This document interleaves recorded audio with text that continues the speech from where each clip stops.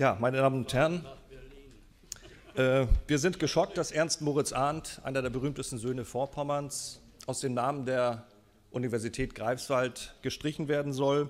Wir halten diese Entscheidung für einen Fehler, äh, denn wir sind Arndt noch heute zu großem Dank verpflichtet für seinen Kampf gegen Leibeigenschaft, für die Befreiung von der Nap napoleonischen Fremdherrschaft und für die Nationenwerdung Deutschlands.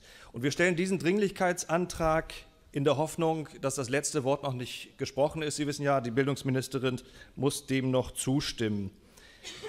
Wir wollen mit unserem Antrag an die Beteiligten appellieren, so eine schwerwiegende Entscheidung eben nicht übers Knie zu brechen und auch die Meinung der Greifswalder zu berücksichtigen.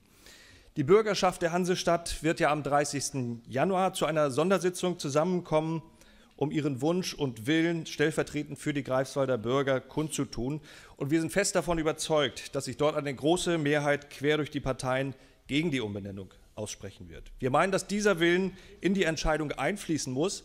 Die Ernst-Moritz-Arndt-Universität ist das Aushängeschild der Stadt am Rück. Sie ist der Stolz der Greifswalder. Und wir glauben deshalb, dass die Bürger ein Recht haben sollten, hier mitzureden. Wir wünschen uns, dass der Landtag heute in breitem Konsens dafür wirbt, dass Bildungsministerin Hesse der Umbenennung vorerst keine Zustimmung erteilt. Wir wünschen uns auch, dass der Senat der Universität seine Entscheidung überdenkt. Und dieser Antrag ist ganz klar als dringlich einzustufen, denn wir wollen verhindern, dass schon vor der Äußerung der Greifswalder Bürgerschaft am 30. Januar Fakten geschaffen werden. Wir bitten also um Ihre Zustimmung, diesen Antrag auf die Tagesordnung zu legen.